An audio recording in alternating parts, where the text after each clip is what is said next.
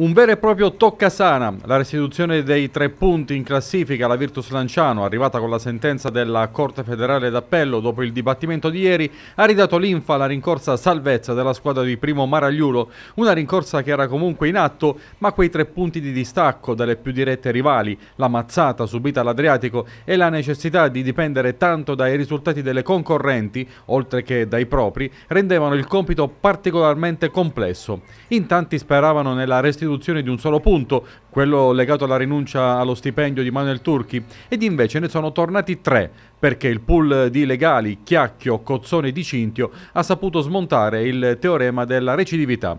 Ora la Virtus di punti ne ha 42, così come Salernitana, Latina e Modena, ma per la classifica avulsa in questo momento sarebbe addirittura salva e lo sarebbe definitivamente se centrasse 6 punti nelle ultime due partite. Insomma, i rossoneri tornano padroni del loro destino. Intanto sarà fondamentale battere la Ternana, che sarà priva dell'ex vitale e del suo migliore elemento Falletti e che soprattutto è già salva. Questo campionato però ha insegnato che non ci sono partite scontate, basti ricordare la lezione dell'ultima gara del Biondi contro l'Avellino.